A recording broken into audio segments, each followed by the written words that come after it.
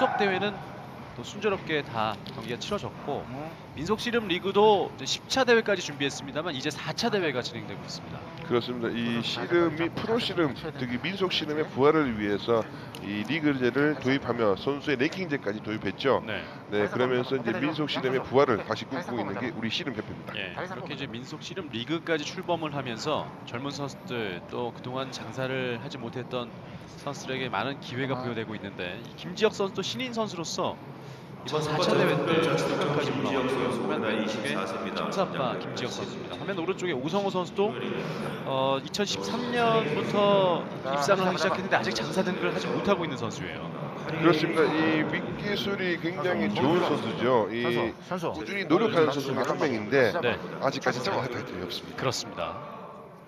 박기영 감독의 지도를 받고 있는 김지영 3판 2선 승제로 치러지는 8강 경기 세 번째 경기입니다. 김지혁과 오성호의 대결. 턱 팔펴 참 보면 이 민속 씨름 리그 이제 최정만 장사 이 다음 경기 출- 출전할 텐데 노범수, 최정만 이러한 선수들이 어 경량급을 거의 뭐 휩쓸고 있다라고 볼 수 있겠어요. 네. 당기면 그래서. 지금 자, 보면 신인. 선수가 두 명 올라- 올랐는데요. 이런 선수들이 또 캐리어를 조지마, 쌓아서 이 장사 타이틀 도전할 수 있는 바로 이제 올라올 수 있는 게 바로 씨름이죠. 예. 조지마, 첫 판입니다. 선수 좀 낮추고 자 준비 발 들어와. 됐어 됐어. 낮춰. 가만 있어 가만 있어 가만 있어. 이몽주 심이 자세를 돌아. 낮추라고 자, 경고 선수들에게 자세.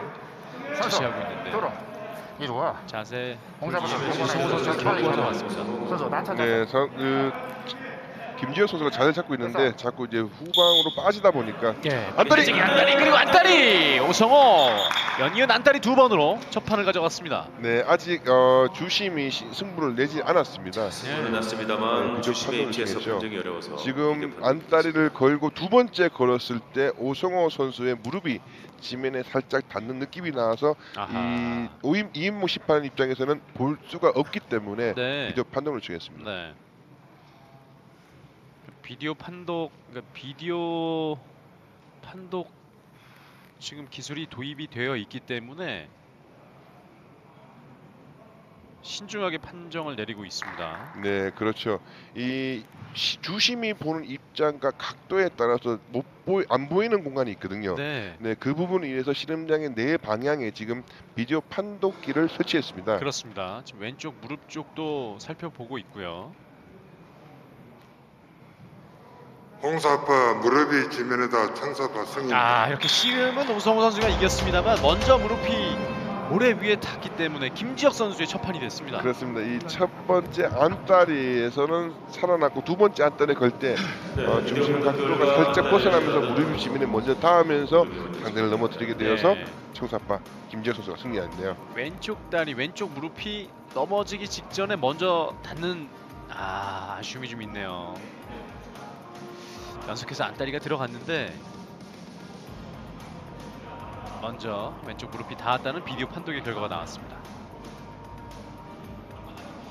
어 그러자 지금 구미 시청의 김종화 감독이 본부석을 향해 걸어가고 있습니다. 그렇습니다. 김종환 감독은 이 씨름 규정이 신체 무릎 위가 지면에 닿으면 승부가 나는 건데 어, 김종환 감독이 판단했을 때는 어 지금 무릎이 아니다 라고 지금 항의를 하고 있는 거죠. 예, 우리 안 했는데 저쪽 지금- 하면 왜 합니까? 전광판에 예. 비디오 판독 무릎이 안 결과가 나왔습니다. 같이 또 화면이 나왔기 때문에 그 네, 부분을 맞습니다. 지켜보고 바로 이인봉 심판부장에 가서 무릎이 안 항의를 하고 나왔습니다. 있습니다. 그리고 또 씨름은 매트와 달리 이 울퉁불퉁한 요철이 좀 있습니다. 네. 네, 그렇다 보니까 그 보는 각도에 따라서 그 부분이 대고 안 대고의 부분이 달라지거든요. 네. 구미시청의 김정화 감독. 네, 많이 아쉬워하네요. 지금 감독. 감독 입장에서는 지면에 안 닿은 것처럼 무릎 아래가 닿였다. 그리고 비디오 판독 결과는 무릎이 닿였다고 판독이 났기 때문에 네. 좀 아쉬움이 있습니다. 네. 자, 앉아 앞으로 앞으로 모래가 선수들이. 이제 자, 경기하면서 밟다 보니까 울퉁불퉁해질 수밖에 없고요. 만약에 튀어나온 부분에 대했으면은 이것도 다 대인다고 볼 수 있거든요. 네. 그렇다 보니까 이제 그것은 어, 이제 경기와 상관없이 뭐 상황에 따라서 외적인 요소이기 때문에 예. 어쩔 수 없는 상황이죠. 네.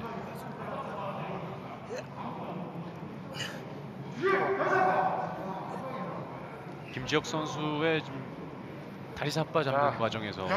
부시 다리 잡아. 앞에 심판 보고. 주의를 주고 있습니다. 규정선보다 선발을 자, 규정 자, 선수가. 더 잡았기. 때문에 경고를 앞으로 와, 당한 선수. 거거든요. 김지혁 선수 앞으로 와. 경고 하나 받았습니다. 자, 하나 그렇습니다. 이 부심도 이제 경기를 이어갈 때저 먼저 삿바 잡을 때 굉장히 역할을 많이 하는데 네.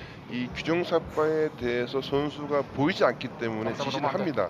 네, 거기서 넘어갔으면 더 올리라고. 네. 자, 하지만 자, 여기서 선수는. 어떻게 불안하니까 왼발 숯발을 놓지 않습니다. 그러면 지시 불응으로 경고를 예.